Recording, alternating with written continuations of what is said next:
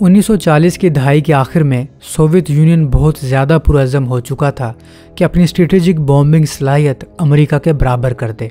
उस वक्त Soviet Union के पास सिर्फ़ एक बॉम्बर था जो दुश्मन के दूर दराज इलाकों में जाके बॉम्ब गिरा सकता था। और ये बॉम्बर था टी यू फोर बुल जो कि दरअसल अमेरिका के ही B twenty nine super fortress की कॉपी था।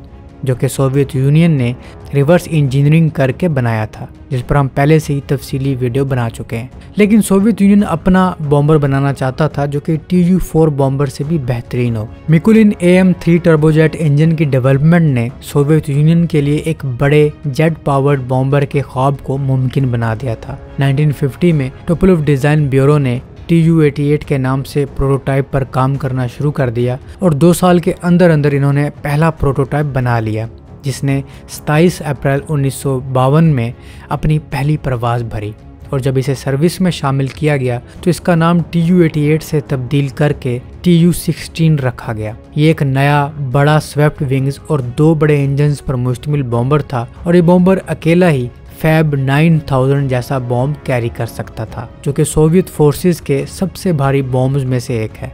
इसके अलावा ये कई न्यूक्लियर वेपन भी कैरी कर सकता है। ये एक high altitude free fall bomber है, जिसमें सोवियत यूनियन के क्रूज मिसाइल्स भी कैरी करने की सलाहियत है।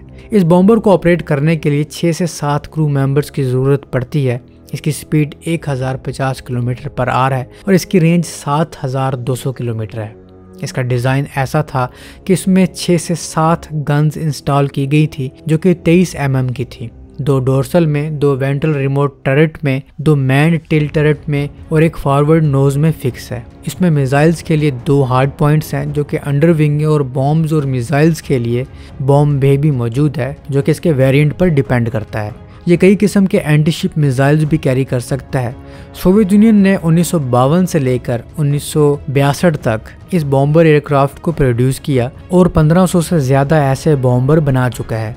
सोवियत यूनियन ने इस बॉम्बर के कई वेरिएंट बनाए, जैसे कि aerial reconnaissance maritime surveillance electronic intelligence gathering electronic warfare और दूसरे कई वेरिएंट्स सोवियत यूनियन ने ये बॉम्बर कई ममालिक को बेचे, जिनमें आर्मीनिया आज़रबाईजान बेलारूस, जॉर्जिया, मिस्र, इंडोनेशिया, इराक, यूक्रेन जिसे ये विरासत में मिले और चीन को ये बॉम्बर बेचे गए। रूस समेत ये सभी ममालिक इस एयरक्राफ्ट को अब रिटायर कर चुके हैं, लेकिन चीन ने इस एयरक्राफ्ट की लेगेसी को ज़िंदा रखा है और इस एयरक्राफ्ट पर बेस्ड अपना बॉम्बर बनाया, जो कि शियान एच सिक्स बॉम्बर है। जिसने सोवियत यूनियन से एक माहे के बाद इस एयरक्राफ्ट को बनाना शुरू किया और इसमें कई जिद्दत लाता गया और जदीद तकाज़ों के मुताबिक अपग्रेड करता गया।